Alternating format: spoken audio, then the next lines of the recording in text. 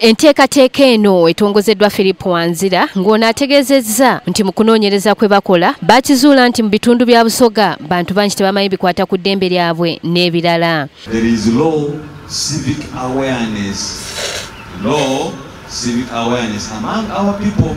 Abantu baffe tebamanyi their civic rights and responsibilities. And there is a saying that information is power.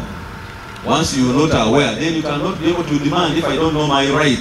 I cannot demand for it. okusinziira ku wanzira enteekateeka eno yakutandikira mu disitulikiti musanvu okuli iganga kaliro namutumba luwuka jinja kamuli kwosa ne buyende mu kiseera kino ekitongole kyamaze dda okubaako abatuuze bekitendeka mu bitundu ebyenjawulo enteekateeka eno gyegenda okutwalibwa okulaba nga babayambako mu nkolo gy'oyinza okuyita ey'obwannakyewa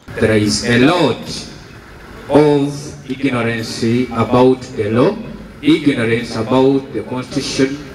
No more, and nonetheless, people are just there moving east and west, not knowing what to do, but yet what they're supposed to do is ahead of them. abantu okuli ne ssentebe akram kisizoomu bayanirizza enteekateeka eno okwebaza abatutairemu esente olw'okuwona nti civic education ekola ki eita mu bantu wabula mu disitulikiti y'e kaliro abakulembeze baganye okwetaba ku mukolo ogw'okutongoza enteekateeka eno ng'abagyetabyeko beebo bokka abaatendekebwa okukola emirimu gy'obwannakyewa